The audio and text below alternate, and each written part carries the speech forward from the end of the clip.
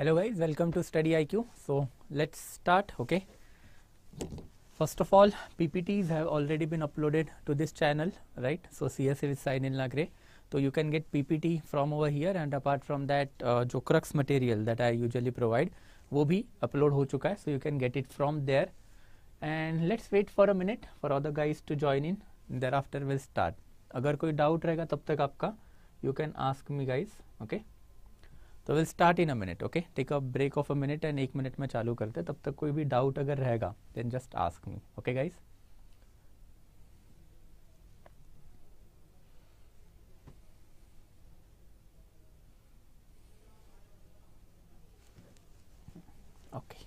perfect.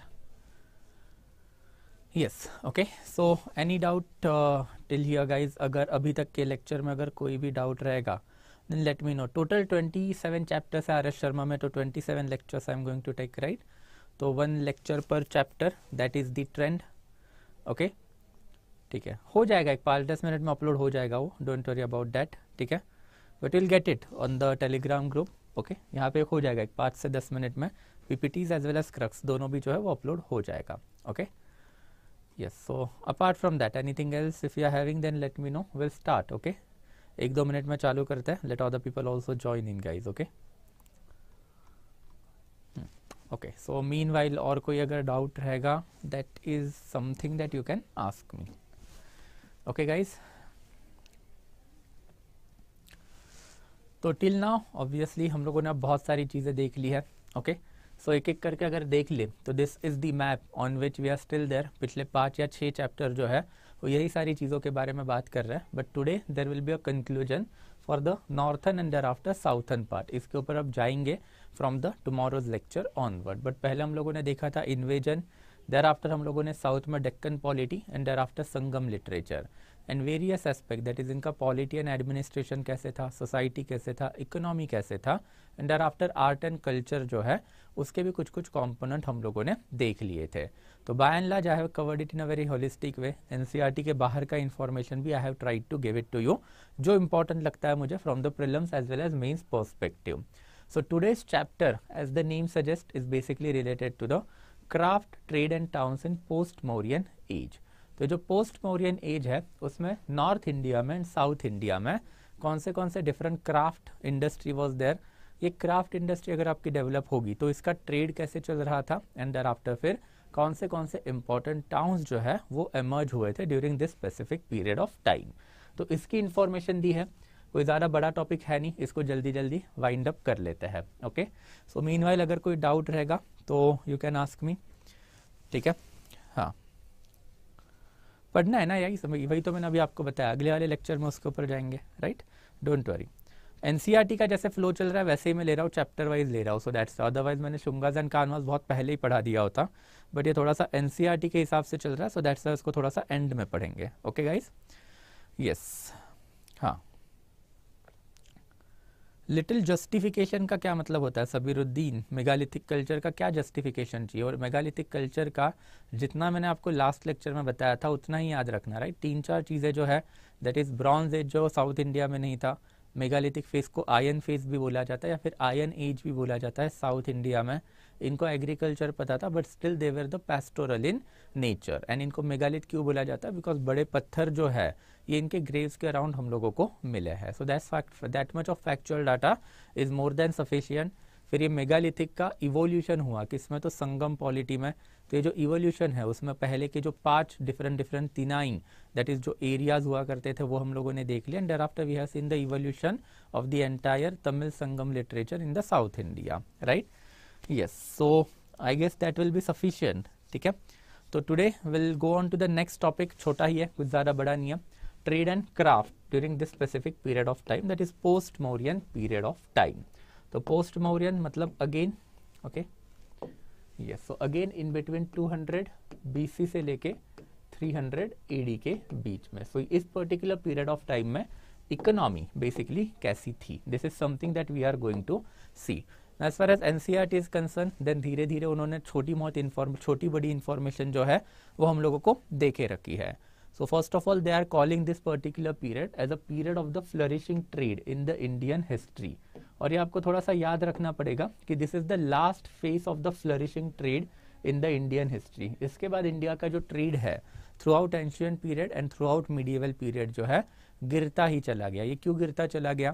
Because India का जो strategic position जो है ओके okay, यहाँ पे चाइना है एंड यहाँ पे यूरोप है। तो इंडिया का जो नॉर्थन वाला जो पार्ट है बेसिकली नॉर्थ वाला पार्ट जो है that is basically the connecting point of the silk route ancient time पे and India was on the middle of it तो middle of the silk route के वजह से India was having quite good trade contact with the China as well as with the Roman empire और the European empire it's तो majority of the trade का जो हमारा flow था, वो आउटवर्ड फ्लो था. इंटरनल इतना ज़्यादा ट्रेड इंडिया में पहले से ही नहीं चलता था. तो बाहर वाला जो ट्रेड है this particular trade was flourishing during the time of the Mauryan and post Mauryan but ये वाले फेस में somewhere around first century AD में, ये वाली जो पूरी की पूरी ट्रेड है, ये डिक्लाइन हो गई। वो क्यों हो गई, कैसे हो गई, ये समझेंगे अभी लेक्चर में। बट ये ट्रेड डिक्लाइन हो गई। जैसे ही आपका ट्रेड डिक्लाइन हुआ, आपका सारा का सारा ट्रेड रूट खत्म हो गया। एंड देर आफ्टर फिर इंटरनल इकोनॉमी में एग्रीकल्चर के ऊपर शिफ्ट इंडिया में देखा गया है। तो ट्रेड और अर्बनाइज इकोनॉमी का this is considered as a last phase इसके बाद ruralisation of the Indian economy from the Gupta period onward basically started तो this is something that's why फिर ये वाला जो लाइन है that this particular period is called as a flourishing period और period of the flourishing trade in the Indian history thereafter फिर कुछ sources भी हम लोगों को मिला है, जैसे महावस्तु एंड उसके पहले फिर दिघ निकाय ये दोनों बुद्धिस्ट सोर्सेस हैं। इन दोनों सोर्सेस ने हम लोगों को बहुत सारे अलग अलग ट्रेड क्राफ्ट एक्टिविटीज़ की इन्फॉर्मेशन दी है। So for example Digha Nikaya is talking about more than two dozen occupation and on the other end Mahavastu जो है it is basically talking about more than 36 type of the occupation again ये occupation important है। ये evolution हमने पहले देखा था। Agriculture surplus आएगा आपके पास सबसे पहले। जब एग्रीकल्चर सरप्लस आएगा तो एग्रीकल्चर सरप्लस जब आएगा, तब मेजोरिटी ऑफ़ द पॉपुलेशन है, वो फार्म लैंड से बाहर चली जाएगी। They can focus upon multiple profession and जब वो मल्टीपल प्रोफेशन चालू करेंगे तो मल्टीपल क्राफ्ट जो है, वो इंडिया में शुरू हो जाएगा। जैसे गोल्ड स्मिथ है आयन स्मिथ है देर आफ्टर फिर different different type of the you can consider pottery makers है। तो ये different trade and active craft activity है इंडिया में चालू हो गई। एंड फिर ये जो मटेरियल बनेगा, माल बनेगा, उसको बेचने के लिए फिर एक इलेबोरेट ट्रेड नेटवर्क इंडिया में डेवलप्ड होंगे। एंड अल्टीमेटली इंडिया क्या बनेगा? एक अर्बन इकोनॉमी बनेगा। ये वाला जो प्रोसेस है लेटर वैदिक पीरियड से मौर्यन तक कैसे इवॉल्व हुआ, ये हमने पहले ही देख लिया था। एंड मौर्यन के बाद अब ये वाली पीरियड में ये वाली जो चीज़ें हैं और एक्सेंचुएट हो गई, काफ़ी बढ़िया तरीके से चली। ये क्यों चली? बिकॉज़ अभी जो इंडिया का ट्रेड है, वो एकदम पीक पे था। रोमन के साथ चल रहा था। इंडिया के बहुत सारे आइटम्स हम लोग रोमन्स को देते थे। एंड इन रिटर्न रोमन्स हम लोगों को क्या आता था? तो बुलियन आता था। बुलियन मतलब basically gold and thereafter silver के कॉइन्स आते थे। तो दैट्स वाई ये ट्रेड एक्टिविटी इस पर्टिकुलर पीरियड ऑफ़ टाइम में बढ़ी। एंड जब ट्रेड बढ़ा तो आपका जो मल्टीप्लिसिटी ऑफ़ द प्रोफेशन है different type of the craft जो है, वो भी इंडिया में बढ़ने लग गए देर आफ्टर फिर कुछ और इन्फॉर्मेशन दे के रखिए तो for example shataka is a type of the cloth जो उस टाइम पे चलता था, जो मथुरा के अराउंड बनता था। अपार्ट फ्रॉम दैट एक दो चीज़ आपको याद रखनी पड़ेगी कि हम लोगों को ताम्रलिप्ति जो पोर्ट है ओके? तो ताम्रलिप्ति जो है, ये बंगाल के अराउंड का पोर्ट है। तो यहाँ पे हम लोगों को different type of the seals के एविडेंसेस मिले हैं विच अगेन अटेस्ट की यहाँ पे बड़ी लार्ज लेवल पे जो इंडस्ट्रियल ट्रेड जो थी, वो होती थी। अपार्ट फ्रॉम दैट पाटलिपुत्र जो है, वो पाटलिपुत्र जो है, वो भी काफ़ी फ़ेमस ट्रेडिंग सेंटर था। एंड पाटलिपुत्र में क्या बनते थे? तो बीड्स बनते थे। ये बीड्स क्या होते हैं? हम लोगों ने हरप्पा के टाइम पे देखा था, मैंने आपको इसका इमेज भी दिखाया था। I hope it is quite you know recollectable as of now कि बीड मेकिंग इंडस्ट्री क्या होता है। तो Pataliputra was famous for the bead making industry thereafter ये जो मथुरा है it was famous for the textile industry तो ऐसे एविडेंसेस जो हम लोगों को इस टाइम पे मिले हैं। कॉइन मिंटिंग वॉज़ गुड हमने देखा था कि Indo Greek was the first ruler जिन्होंने इंडिया में गोल्ड कॉइन इशू किए थे। एंड आफ्टर वो पहले रूलर थे जिन्होंने ऐसे कॉइन इशू किए थे जिसके ऊपर राजा का इमेज एंड राजा का नाम क्लियरली लिखा था? So they issue first type of the coin which can be attributed to a specific king but उसके बाद हमने ये भी देखा था कि अब सिर्फ़ गोल्ड कॉइन ही नहीं तो गोल्ड के साथ सिल्वर फिर कॉपर फिर लीड देर आफ्टर पोटीन तो डिफरेंट डिफरेंट मेटल के जो कॉइन्स है, वो इंडिया में अब इशू होने लग गए थे। अगर डिफरेंट डिफरेंट मेटल या फिर डिफरेंट डिफरेंट कॉइन्स अगर इंडिया में इशू हो रहा है तो इसका जो मेटल है, उसकी इंडस्ट्री भी काफ़ी फ्लरिशिंग रही होगी एंशियंट इंडिया में। Thereafter different type of the potteries हम लोगों को मिली है। अगेन पॉटरी का सिग्निफिकेंस मैंने आपको पहले भी बताया था।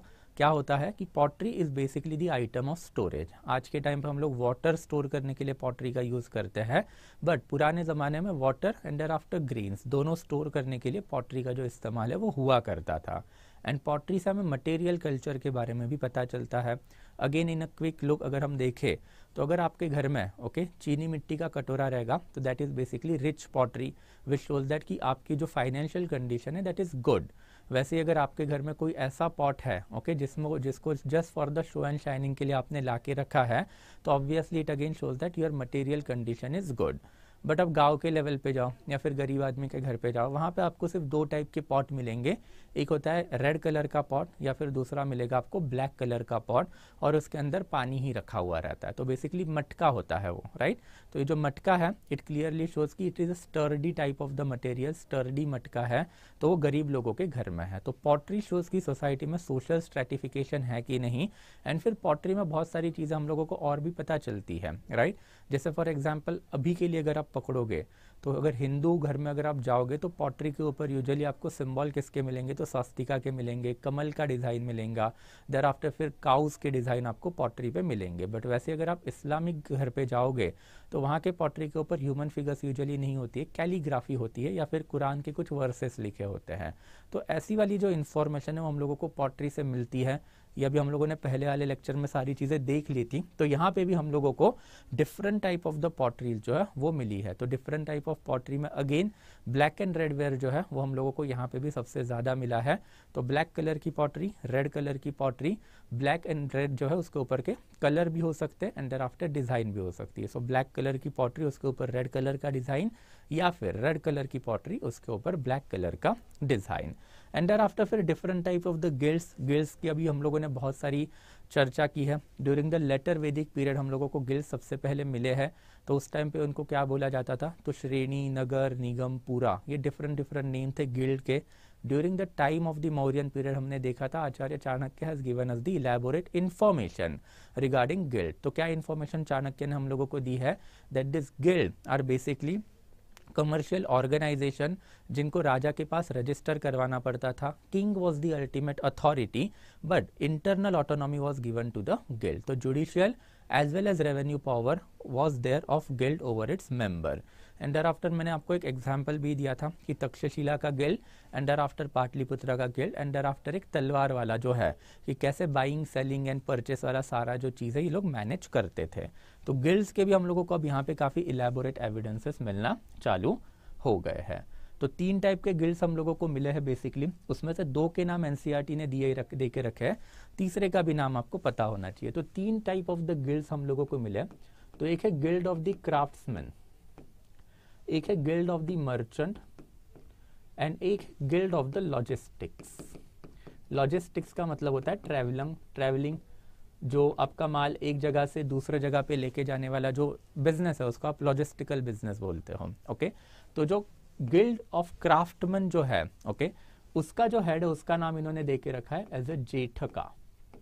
ये गिल्ड ऑफ़ मर्चेंट है, उसका जो हेड है, उसका भी नाम उन्होंने दे के रखा है सेठी। ये हमने देखा था, Sethi was a new class of the person जो महाजनपदा पीरियड में इंडिया में सबसे पहले हम लोगों को मिला है। और आज के ज़माने में भी आपको सेठ लोग मिलते हैं, हर जगह पे मिलते हैं अब तो। तो as a class this particular person emerge during the time of the mahajanapada.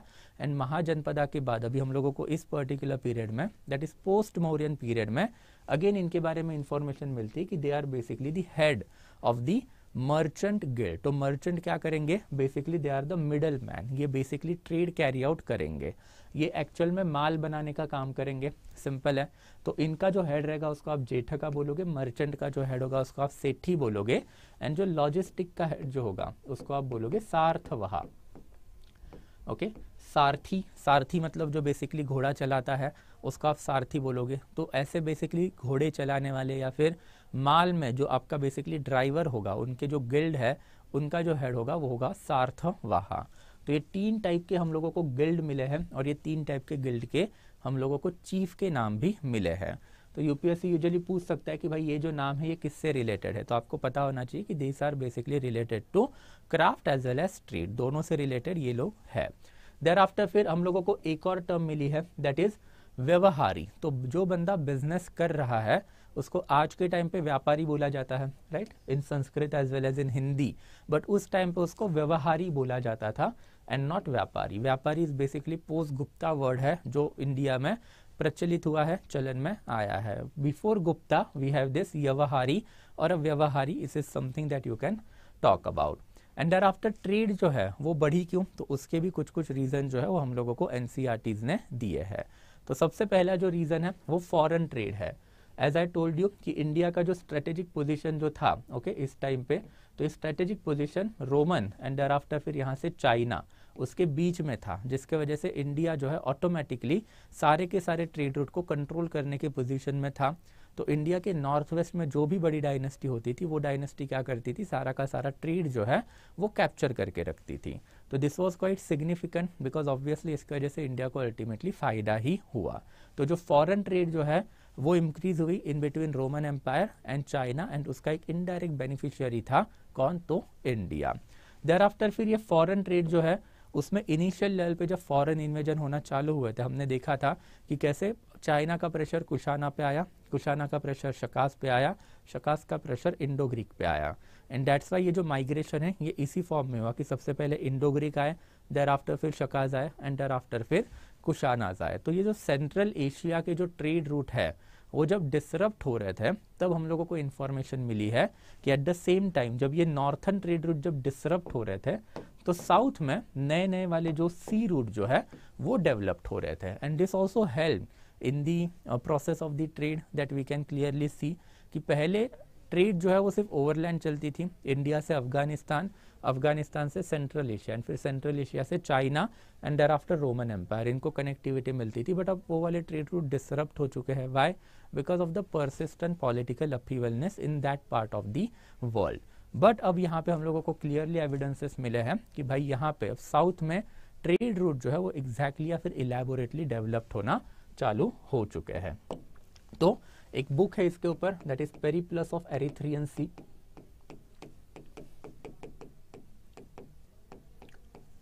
अब ये बुक किसने लिखी हम लोगों को नहीं पता बट ये जो पेरीप्लस ऑफ़ एरिथ्रियन सी जो है, ये हम लोगों को इंफॉर्मेशन देती है कि trade it went between Bharuch and Barbaricon Bharuch and Barbaricon के बीच का जो ट्रेड है उसका एक इलेबोरेट वर्जन ये वाले बुक ने हम लोगों को दे के रखा है। इस बुक का unfortunately we do not know the author but ये book is quite important because उस टाइम पे पोस्ट मौर्यन पीरियड में, जो भी नेवल ट्रेड चलती थी, वो नेवल ट्रेड में कौन से आइटम ट्रेड होते थे देर आफ्टर ट्रेड में कौन से कौन से पिट स्टॉप मतलब कहाँ कहाँ पे शिप्स रुकती थी देर आफ्टर कौन सा एरिया कौन से राजा के अंडर था, ये सारी चीज़ें बताने का काम जो है, वो ये वाले बुक ने हमारे लिए करके रखा है।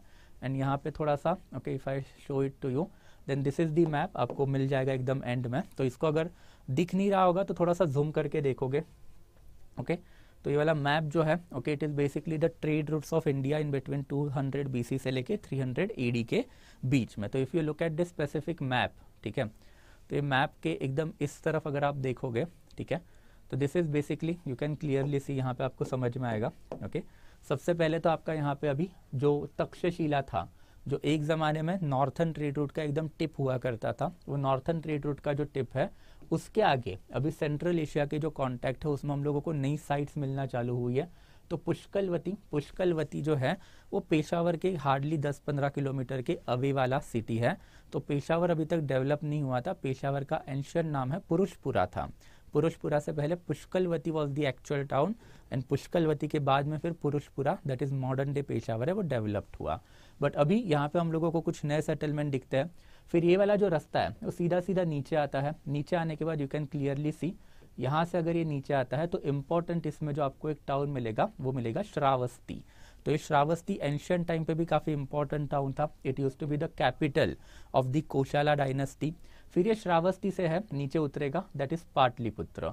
यहाँ पे आपको पाटलिपुत्र दिखेगा एंड फिर पाटलिपुत्र से आगे जो है it will go to the Tamralipti वाला पोर्ट ये बन गया आपका पूरा का पूरा नॉर्थन ट्रेडिंग रूट बट ये नॉर्थन ट्रेडिंग रूट जो हमेशा शिफ्ट होता था।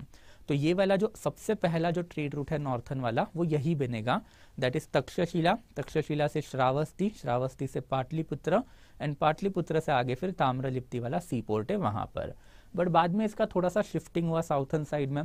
तो now you can clearly see जब आप यहाँ से नीचे आओगे, सियालकोट सियालकोट को एंशियंट टाइम पे सकला बोला करते थे तो वहाँ से एक नीचे एक ट्रेड रूट उतरता था, जो जाता था मथुरा में। तो Mathura became the quite important town और ये जो मथुरा जो है, मथुरा से फिर later on you can clearly see एक रास्ता नीचे जाएगा उज्जैन में। उज्जैन से एक रास्ता नीचे जो है, वो सीधा सीधा चला जाएगा आपका कहाँ पे? तो ऑब्वियसली पैठन में। That is basically capital of the ancient Ashmaka dynasty अगर याद रहेगा महाजनपदा का, या फिर सातवाहना की dynasty during this specific period of time तो ये बन जाता है आपका दक्षिण पथ तो दक्षिण पथ एक जमाने में श्रावस्ती से नीचे आता था। श्रावस्ती से नीचे आप कन्नौज में आओगे। कन्नौज से नीचे विदिशा विदिशा से नीचे उज्जैन एंड उज्जैन से नीचे फिर डायरेक्टली दक्षिण पथ बट अभी ये वाला जो नया है that is Mathura that is quite prominent during this specific period of time और ये वाले जो ट्रेड रूट है, ये डिसरप्ट हुए थे for a some period of time जब इंडो ग्रीक देर आफ्टर फिर शकाज एंड देर आफ्टर फिर कुशानाज इन दोनों के बीच में Pahlavas were also there but we have already seen कि पहलवाज जो है, वो पर्शिया की डायनेस्टी उसका और इंडिया का एज सच कोई लेना देना था नहीं. तो ये जो, ये तीनों जो डायनेस्टीज है, उनकी वजह से जब ये ट्रेड रूट डिसरप्ट होना चालू हो गए तब फिर इन्होंने क्या किया, जो कोस्टल रूट है वो ढूंढना चालू कर दिए थे।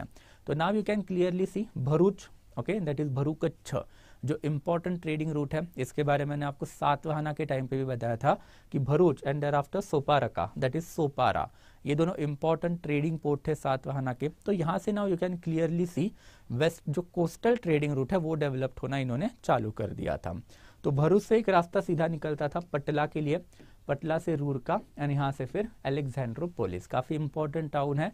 This town was on the ancient silk route तो एक नया रेड रोड इन्होंने बना दिया था। And thereafter as far as coastal trade is concern then ये जो बैरबेरी कॉम है, जो मैंने अभी आपको बताया था पेरीप्लस ऑफ़ एरिथ्रियन सी है तो उसमें ये वाले जो टाउन है Burberry com and there after का एंड भरूच इनका ट्रेड यूपीएससी एक बार ऐसे सवाल पूछ चुका है कि वेस्टर्न कोस्ट में कौन से पोर्ट थे एंड ईस्टर्न कोस्ट पे कौन से पोर्ट है?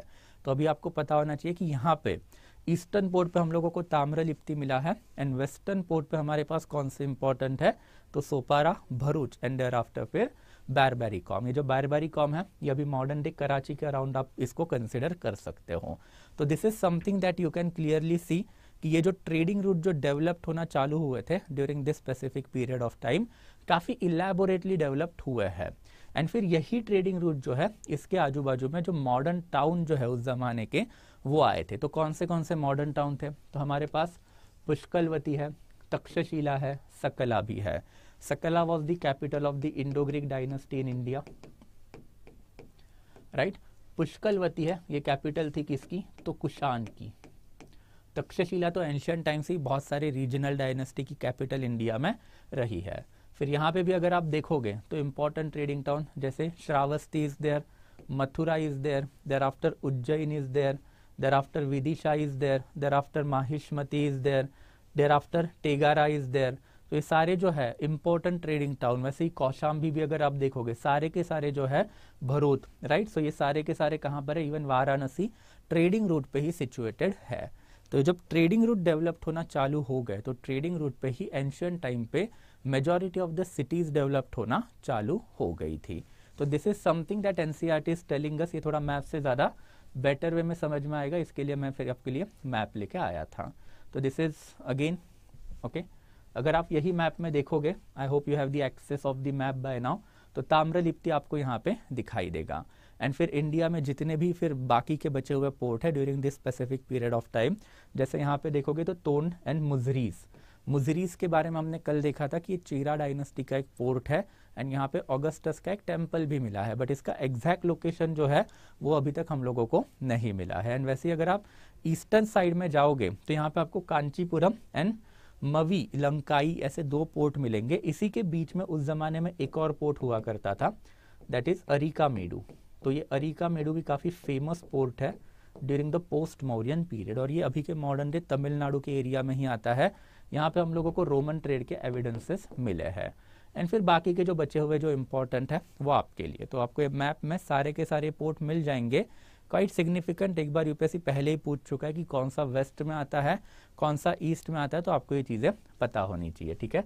तो एक बार मैप थोड़ा सा ठीक से पढ़ लेना on your level so that it will help you रही बात आज वाला जो है उसमें तो जितना मैंने बताना चाहा बत, बताना था वो तो आपको बता दिया। बट यहाँ पे again you can see that thing only कि मानसून का नॉलेज जो है वो आने लग गया था during this specific period of time monsoon अभी आपको और हमको तो इलेबोरेटली पता है we know every each and every bit of pattern of the monsoon but ये सबसे पहले जो डिस्कस या फिर सबसे पहले इन्वेंट करने वाला जो आदमी था उसका नाम है हिप्पैलस ओके okay? ये अगेन हिप्पैलस एक ग्रीक सेलर है। उसने सबसे पहले फ़र्स्ट सेंचुरी बीसी में मॉनसूनल विंड के बारे में बताया था। तो he was the person who could easily identify कि मार्च से लेकर जून तक इंडिया के अंदर आने का टाइम अच्छा होता है बिकॉज़ मानसूनल विंड इंडिया में घुस रही होती है। तो मार्च, अप्रैल, मई, जून, जुलाई तक आप इंडिया के अंदर आ जाओ एंड फिर उसके बाद में जो विंड है वो वापस कब जाती है? तो नवंबर, दिसंबर के अराउंड मानसूनल विंड जो है इंडिया से रिट्रीट करती है। तो इस टाइम पे आप इंडिया से बाहर निकलो। ऑब्वियसली उस टाइम के जो बोट है, वो बड़े बड़े वॉप पे चलते थे, पर्दा लगाया करते थे शिप के ऊपर एंड पर्दे के ऊपर जैसे ही हवा लगेगी, वैसे ही आपकी शिप चलेगी। स्टीम इंजन तो थे नहीं इनके पास तो वॉर्प होते थे इनके पास तो दैट्स वाई ये knowledge of monsoon was quite important ये हिप्पैलस ने डिस्कवर किया था। ये information again Periplus of Erythraean sea ये जो बुक है, उसी में हम लोगों को मिली है।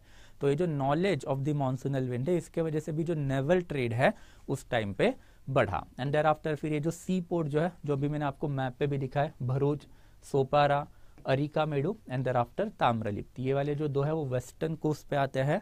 ये वाले जो दो है, वो ईस्टर्न कोस्ट पे आते हैं। देर आफ्टर फिर शकाज एंड कुशानाज जो शुकाज एंड कुशानाज ने जो नए वाले जो ट्रेडिंग रूट कोस्टल एरिया पे जो डेवलप किए थे एलेक्जेंड्रोपोलिस से लेके भरूच तक। बिकॉज़ शकाजन कुशानाज के पास ये एरिया था तो उसके बारे में भी बात की। मैप एन ने नाम नहीं दिया है। सो दैट्स वाई फिर मैंने आपके लिए वो मैप लाया। तो मैप में आपको थोड़ा सा क्लियरली समझ में आ जाएगा। देर आफ्टर फिर नेक्स्ट वन इज़ गुड्स तो कौन से कौन से आइटम जो है वो ट्रेड होते थे। अब यहाँ पे भी हम लोगों को इन्फॉर्मेशन मिली है। दो इंपॉर्टेंट सोर्स एक Periplus of Erythraean Sea Erythraean Sea मतलब Red Sea okay Erythraean Sea का जो नाम है वो पहले रेड सी हुआ करता था तो रेड सी उसको अभी बोला जाता है, पहले उसको एरिथ्रियन सी बोला जाता था। तो ये जो Periplus of Erythraean sea and thereafter Pliny का जो नेचुरल हिस्टोरिका है, दोनों में हम लोगों को ये ट्रेड के एविडेंसेस मिले हैं। तो रोमन से हम लोगों के पास क्या क्या आता था? सबसे पहले तो रोमन जो हम लोगों को muslin type of cotton cloth ये देते थे pearl jewel precious stones okay तो ये सारी जो चीज़ें हैं सॉरी ये एक्सपोर्ट था इंडिया का एंड रोमन का इम्पोर्ट था। तो ये इंडिया से जाता था रोमन को। एंड देर आफ्टर फिर इंडिया के पास क्या आता था रोमन से? तो ऑब्वियसली रोमन जो है, हम हम लोगों को देते थे इंडियन मतलब wine thereafter wine amphora wine amphora ये ऐसा जार होता है जिसको बेसिकली पकड़ने के लिए दोनों साइड से ये होते थे हैंडल होते हैं, उसको आप एम्फोरा बोलोगे। तो wine and thereafter wine amphora and most importantly gold and silver okay तो multiple items were traded but इसमें एक ही चीज़ याद रखो, जो सबसे इंपॉर्टेंट आइटम ऑफ़ ट्रेड जो था, वो था पेपर एंड स्पाइसेस तो ये जो स्पाइसेस होगा, या फिर पेपर जो होगा ओके okay? पेपर का मतलब होता है काली मिर्च तो इसको जो है, ये लोग यवन प्रिय बुलाया करते थे यवन प्रिय और फिर यहाँ से इंडिया ये चीज़ भेजता था रोमन को, इन रिटर्न आते थे गोल्ड एंड सिल्वर के कॉइन तो अगर ऐसा वाला ट्रेड चलता रहा देन ऑब्वियसली क्या होगा? बैलेंस ऑफ़ ट्रेड इंडिया के फेवर में आएगा। एंड अगर बैलेंस ऑफ़ ट्रेड इंडिया के फेवर में आ गया तो लॉस किसको हो रहा है? तो रोमन्स को हो रहा है। तो दैट्स वाई प्लीनी जो है ओके okay, उसने ये सबसे पहले इशू हाईलाइट किया था इन रोमन पार्लियामेंट कि भाई ये जो चीज़ हो रही है गलत हो रही है okay the balance of trade is heavily shifted in favour of India जो हम लोगों को क्या दे रहे हैं तो हम लोगों को कॉटन दे रहे हैं। जो हम लोगों को क्या दे रहे हैं तो हम लोगों को स्पाइसेस दे रहे हैं। एंड इन रिटर्न हम लोग उनको क्या दे रहे हैं तो गोल्ड कॉइन दे रहे हैं। तो प्लीनी ने प्लीनी का जो नेचुरल हिस्टोरिक है, उससे हम लोगों को ये इन्फॉर्मेशन मिली है कि approximately fifty million gold coin जो है, वो रोमन से इंडिया में पिछले दो सेंचुरी में मतलब फ़र्स्ट सेंचुरी बीसी से लेके फ़र्स्ट सेंचुरी एडी तक इंडिया में आ चुके हैं। And this is quite significant number अगर पाँच मिलियन गोल्ड कॉइन अगर रोमन से इंडिया में आ चुके हैं तो this is quite significant loss of wealth for the Roman and that's ultimately जब प्लीनी ने ये इशू हाईलाइट करना चालू कर दिया अल्टीमेटली रोमन्स ने इंडिया के साथ वाला जो ट्रेड है बैन कर दिया. एंड जब ये ट्रेड बैन हुआ तो ऑब्वियसली उसका रिपरकशन भी पड़ेगा. एंड वो पढ़ा भी बिकॉज़ इंडिया में हमने देखा था कि during this period of time gold coin काफ़ी अच्छे खासे अमाउंट में इशू हुए थे. तो be it Indo Greek thereafter Kushanas okay इन सबने क्या किए थे? गोल्ड कॉइन जो वो इंडिया में इशू करके रखे थे। बट ये गोल्ड आ कहाँ से रहा था? रोमन से आ रहा था। इन रिटर्न हम इनको स्पाइसेस दे रहे थे कॉटन दे रहे थे। अब रोमन ने बोला कि भाई ट्रेड नहीं करेंगे। अगर रोमन ने ट्रेड बैन कर दी तो इंडिया में गोल्ड आएगा क्या? नहीं आएगा। और यही एविडेंसेस फिर हम लोगों को इसके बाद जो है मिलना चालू हो गए थे। तो this is something about the items जो ट्रेड हो रहे थे एंड उसके वजह से अल्टीमेटली क्या इम्पैक्ट इंडिया के ऊपर इसका पड़ा। ओके देर आफ्टर फिर मॉनिटरी इकोनॉमी तो different type of the coins अगर फ़ायदा हुआ तो फ़ायदा भी तो दिखाना पड़ेगा। तो different type of the coin जिसमें कुशाना ने सबसे पहले गोल्ड कॉइन इशू करके रखे थे। देर आफ्टर ये गोल्ड आता कहाँ सा था? तो ऑब्वियसली सेंट्रल एशिया मतलब रोमन ट्रेड से आता था। कुछ कर्नाटका का जो कोलार गोल्ड फ़ील्ड है that is K G F वहाँ से आता था एंड कुछ वाला जो है वो झारखंड वाले एरिया से ये लोग लाते थे। कुशाना के गोल्ड कॉइन को आप दिनार बोलोगे ओके ये दिनार जो है, वो गुप्ता के टाइम पे भी वर्ड जो है वो यूज़ हुआ करता था। तो Gupta as well as Kushana के जो गोल्ड कॉइन है, उसको दिनार बोला जाता था। अपार्ट फ्रॉम दैट हम लोगों को बहुत सारे डिफरेंट डिफरेंट मेटल के कॉइन्स भी मिले हैं that is lead potin and copper हम लोगों ने जब किंग देखे थे तो किंग के साथ साथ कौन से किंग ने, कौन से कॉइन इशू किए हैं, वो हमने देखा भी था। जिसमें लीड एंड पोतीन जो है, वो सातवाहनाज ने यूजुअली इशू किए थे राइट तो सातवाहनाज ने इनको मैक्सिमम पीरियड मैक्सिमम अमाउंट में इशू किया था। एंड आफ्टर जो कॉपर कॉइन जो है, को कुशाना ने इंट्रोड्यूस किए थे लार्जेस्ट नंबर के जो कॉपर कॉइन है, वो भी हम लोगों को कुशाना के पीरियड के मिले हैं। Largest number of the gold coin है, वो हमको गुप्ता के पीरियड के मिले हैं ओके एंड आफ्टर फिर कॉपर एंड ब्रॉन्ज कॉइन जो है, वो इंडिया में लोकल रूलर्स है उन्होंने भी इशू किए थे। कुछ लोकल रूलर्स के नाम जो हम लोगों को एनसीईआरटी ने दे के भी रखे हैं। दैट इज़ यूधेयाज जो अराउंड हरियाणा एंड पंजाब वाला एरिया कैप्चर करके रखे थे एंड नागाज ये जो नागाज जो है, वो central India and after eastern India की ट्राइब्स हुआ करती थी। एंड आफ्टर फिर मॉनिटरी इकोनॉमी मतलब for the first time barter system जो है, उसके साथ साथ लार्ज अमाउंट में token currency that is coins का इस्तेमाल जो इंडिया में बढ़ने लग गया था। इसके पहले वाला जो ट्रेड था, वो किस पे चलता था? मेजरली बार्टर पे चलता था बट अभी हम लोगों को barter as well as coin दोनों के एविडेंस एम्पल अमाउंट में मिले हैं, जिससे हमने यही कंक्लूड किया है कि जो टोकन करेंसी है, वो टोकन करेंसी इस टाइम पे अच्छे खासे लेवल पे इशू हो गई थी। ओके देर आफ्टर फिर next one as far as towns are concern then ये टाउन जो है इसको मैंने अभी आपको मैप पे दिखाया था कि बहुत सारे डिफरेंट डिफरेंट टाउन जो है वो इंडिया में आ चुके थे। तो northern as well as southern trading route पे कौन से कौन से टाउन्स हैं? अगेन आपको ये मैप में ही दिख जाएँगे कि डिफरेंट डिफरेंट जो ट्रेडिंग टाउन्स जो है वो सारे के सारे जो ट्रेडिंग रूट है उसी के ऊपर सिचुएटेड थे। एंड देर आफ्टर फिर कुछ कुछ इनमें से जो टाउन है ओके okay, वो कुछ कुछ स्पेशल इंडस्ट्रीज़ के लिए भी फ़ेमस थे। जैसे दो तीन हम लोगों को पता भी है Pataliputra is famous for bead making industry and on the other hand फिर हमारे पास है दैट इज़ वाराणसी, जो cotton textile that is textile industry के लिए काफ़ी फ़ेमस था। तो ये जो दो टाउन है, उसमें तो हम लोगों को पता ही है क्या चल रहा था। तो वैसे हमने कंसिडर कर लिया कि हर एक जो छोटा मोटा टाउन है, इस दिस पर्टिकुलर ट्रेड रूट आपको जितने भी दिख रहे हैं, ये सारे टाउन में कोई ना कोई तो अलग अलग लेवल का क्राफ्ट जो है, वो उस टाइम पे चल रहा था। एनसीईआरटी ने जो दो नाम दिए, अभी के लिए वो दो ही याद रखना that will be more than sufficient मुझे नहीं लगता है इसके बाहर यूपीएससी कुछ और पूछेगी। अल्टीमेटली ये जो रीज़न है कि भाई टाउन्स क्यों आए तो वही है कि जो ट्रेड रूट जो इंडिया में डेवलप्ड हुए, उसके वजह से आए थे। तो जस्ट अ फैक्चुअल डाटा एक बार वो आपको अभी अपने लेवल पे पढ़ लेना। मैप के साथ पढ़ोगे तो थोड़ा सा हेल्प हो जाएगी। And uh after decline of the trade ultimately decline of the trade is quite significant Roman ने जैसे ही ट्रेड बैन कर दिया तो रोमन ने ट्रेड बैन करने के बाद इंडिया में उसके रिपरकशन दिखे। तो रिपरकशन कहाँ पे दिखे? तो इंडिया का जो उत्तर पथ एंड दक्षिण पथ है, वो अब धीरे धीरे खत्म होने लग गया था। ट्रेड रूट धीरे धीरे बंद होने लग गए थे। एंड इसका एक मेजर आर्कियोलॉजिकल एविडेंस भी हम लोगों को मिला है कि अर्बन सेटलमेंट ही डीके नहीं हुए, बट अगर हम लोग कुशान एंड गुप्ता के अगर गोल्ड कॉइन अगर हम लोग कंपेयर किए, करें तो कुशाना से ज़्यादा गोल्ड कॉइन गुप्ता ने दिए थे largest number of the gold coin जो है ओके वो गुप्ता ने हम लोगों को दिए थे okay but in this aspect Kushana के जो गोल्ड कॉइन थे, वो 100 परसेंट प्योर थे बट गुप्ता के जो गोल्ड कॉइन है, वो सिर्फ़ 50 परसेंट प्योर है। मतलब प्योरिटी की अगर बात करें तो कुशाना के गोल्ड कॉइन में आपको दूसरा कोई भी मेटल नहीं मिलेगा hundred percent pure gold coin Kushana जो है, उन्होंने इशू किए थे। But on the other hand जब हम लोगों ने गुप्ता का जो सोने का सिक्का उसको पिघलाया तो हम लोगों को ये पता चला कि गोल्ड में कुछ ना कुछ तो इम्प्योरिटीज़ है, कुछ ना कुछ तो मिलावट है। ये मिलावट किसकी थी? अदर मेटल की silver as well as copper तो ये मेटल में अगर इम्प्योरिटीज़ डाल रहे तो इट क्लियरली शोज़ कि अब इंडिया में गोल्ड है जो अवेलेबिलिटी ऑफ़ द गोल्ड जो है, वो डिक्लाइन हो रहा है। एंड दैट्स एफ़ स्टेट जो है, वो इम्प्योरिटीज ऐड कर रहा है किसमें? तो अपने गोल्ड कॉइन में। तो इट ऑल्सो क्लियरली शोज़ की जो ट्रेड का डिक्लाइन जो है, जो कुशाना पीरियड से ही सेट इन हुआ था, वो बाय द गुप्ता पीरियड काफ़ी हैवी हुआ था, जिसकी वजह से इंडिया में गोल्ड मिलना बंद हो गया था।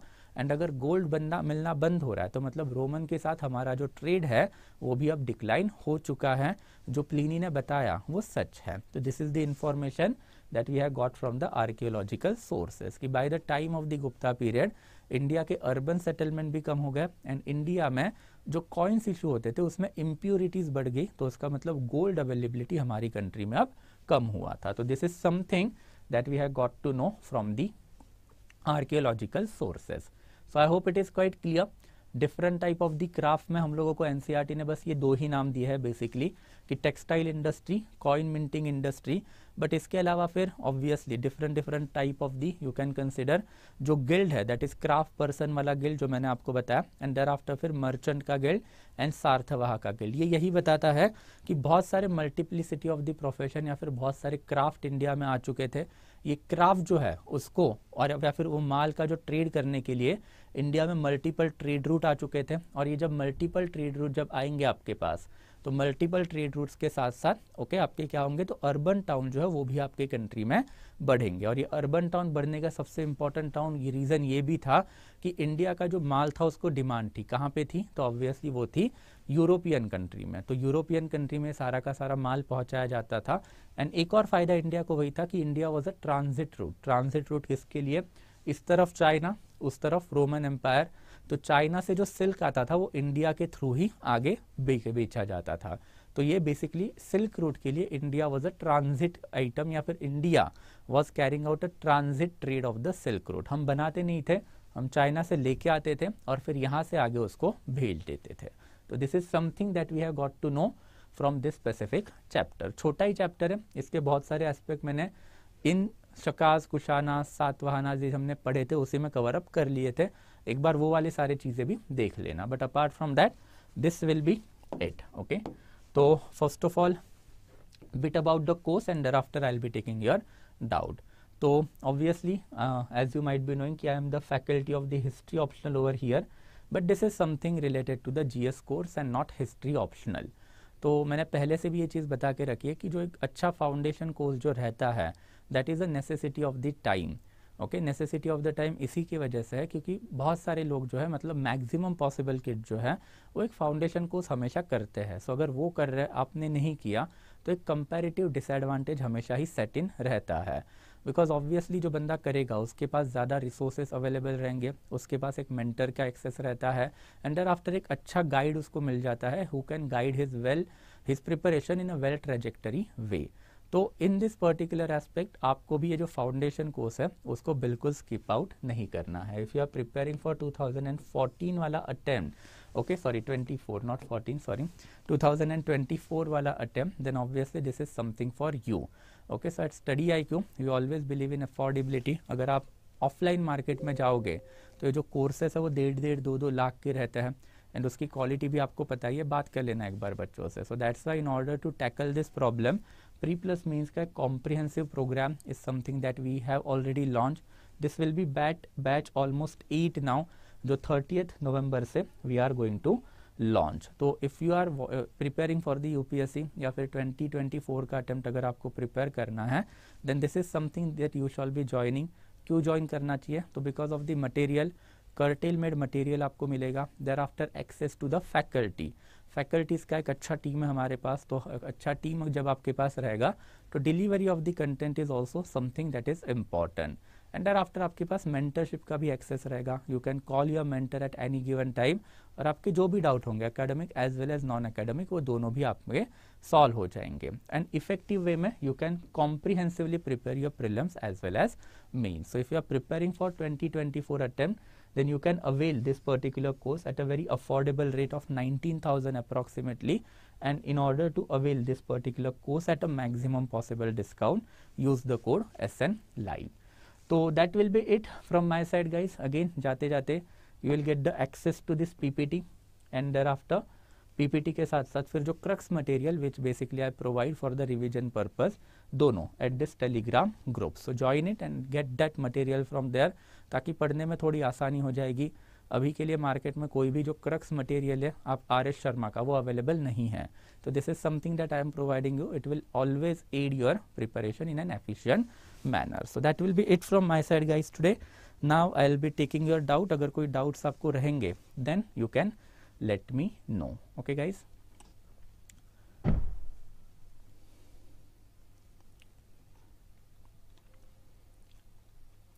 देखो, राहुल, सबसे पहले नरेशन हम लोग आर एस शर्मा कर रहे हैं। R S Sharma himself is a Marxist historian right तो हम लोग मार्क्सिस्ट वाला ही नरेशन पढ़ेंगे सिंपल ओके देर आफ्टर फिर, ठीक है?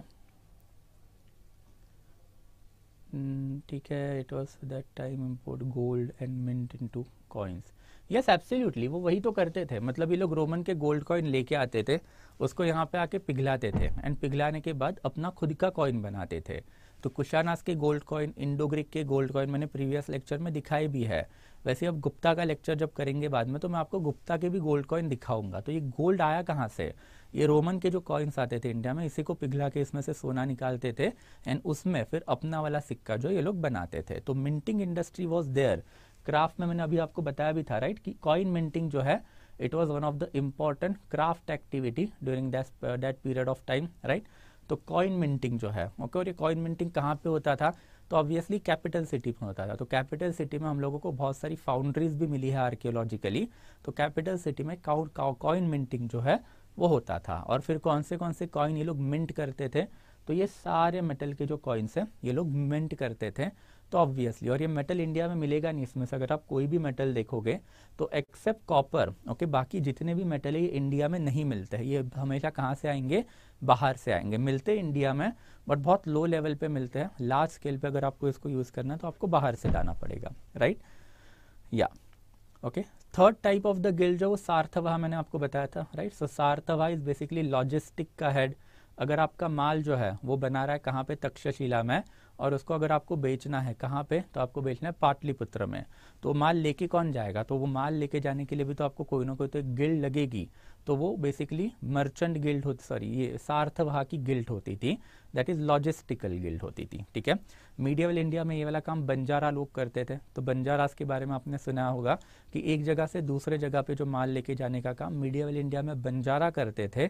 एंशियंट इंडिया में सार्थवाह करते थे okay yes okay, so hmm.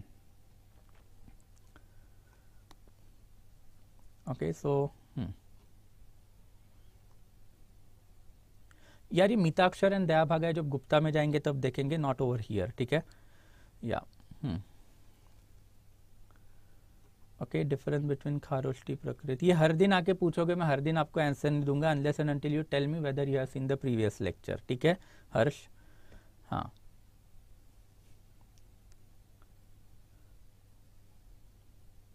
ना ना, कोई एनसीईआरटी e पढ़ने की ज़रूरत ही नहीं, अगर आप ये कर रहे हो तो एनसीईआरटी e का सारा डाटा आपको यहाँ पे मिल रहा है प्लस एनसीईआरटी के ओवर एंड अबो जो इन्फॉर्मेशन आपको लगेगी, जो यूपीएससी यूजली आजकल पूछ रही है तो that is also am passing to you तो उसके बाद वापस एनसीईआरटी पढ़ने का कोई सेंस नहीं है राइट जो इंपॉर्टेंट डाटा आपको वहाँ पे मिल जाएगा, मेरे क्रक्स मटेरियल में तो मिल ही जाएगा तो क्रक्स मटेरियल एक बार कर लेना फिर उसके लिए, ठीक है? यस हाँ.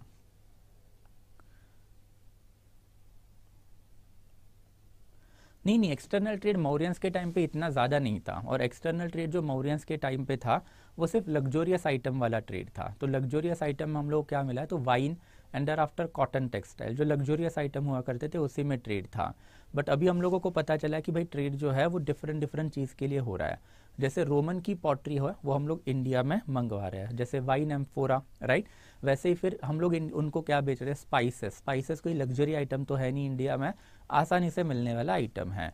तो छोटी छोटी चीज़ों की जो डिमांड है, वो वेस्टर्न मार्केट में बढ़ी रोमन एम्पायर में बढ़ी एंड फिर ये इंडिया से वहाँ पे जाने लग गई एंड फिर वहाँ से इन रिटर्न हम लोगों को क्या आने लग गया? गोल्ड आने लग गया।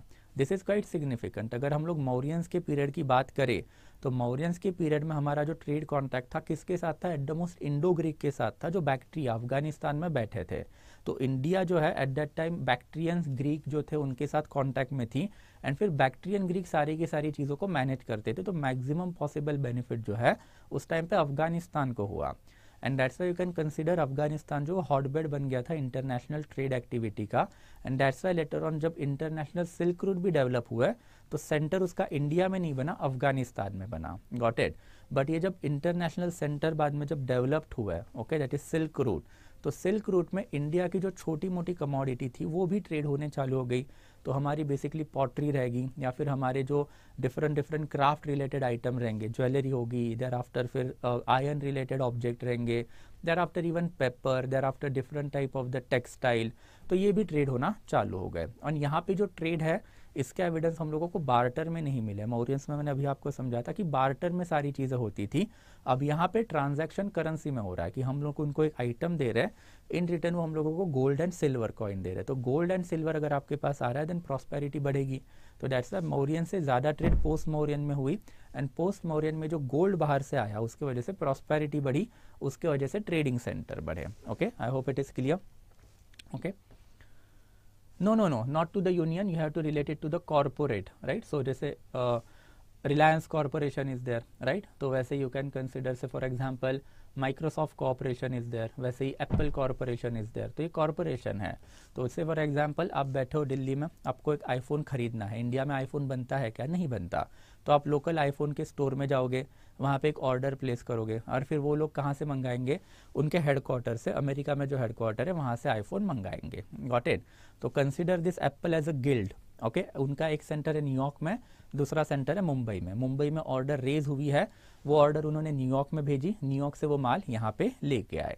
एंड लेके आने के बाद वो जो कंज्यूमर है उसको वो माल प्रोवाइड कर दिया. गॉट इट तो कॉरपोरेशन आप करेगो. करोगे एंड नॉट यूनियन यूनियन जो है वो बेसिकली वर्कर का होता है right in order to force management to do something okay या I hope it is clear ठीक है? So I hope everything is fine and everything is clear guys और कोई डाउट नहीं है right still I give you minute again थोड़ा सा एक मिनट का टाइम लैग रहता है यहाँ पे, ठीक है? लाइव लेक्चर में. तो I wait for a minute अगर कोई डाउट रहेगा then you can ask it to me ठीक है? हाँ।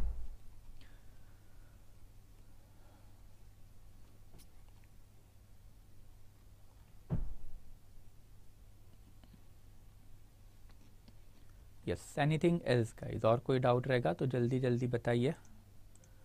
ओके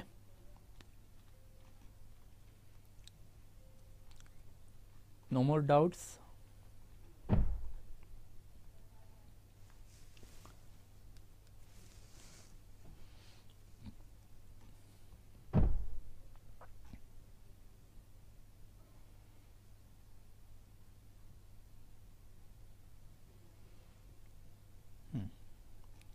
चलो यार thank you so much thank you guys हाँ।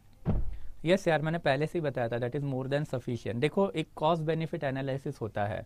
अगर आप अपर चीज़ करना चाहोगे तो sky is a limit in UPSC right तो that's I am asking you कि जितना मैं करवा रहा हूँ, उतना मोर देन सफिशियंट है। अगर उसमें से अगर आपको नहीं आया तो ट्रस्ट में बाकी किसी को भी नहीं आएगा। तो this is a comparative competition UPSC में। अगर आप लूज आउट हो रहे हो तो दूसरे भी लूज आउट होंगे इसमें. That is my guarantee to you ठीक है? मैं ये क्लेम नहीं कर सकता कि भाई यूपीएससी सब मेरे में से पूछेगी. Nobody can claim it but मैं ये तो डेफिनेटली क्लेम कर सकता हूँ कि इसके बाहर का अगर यूपीएससी ने कुछ पूछ लिया ना तो किसी को नहीं आएगा. गॉट इट सिंपल है. Okay okay? चलो. Okay so I hope that is enough okay no more doubts are there so thank you so much guys again will meet tomorrow seven o'clock ठीक है? तो will start with the next chapter ठीक है? चलो. Thank you so much guys I will be stopping the lecture now मिलते हैं कल seven ओ clock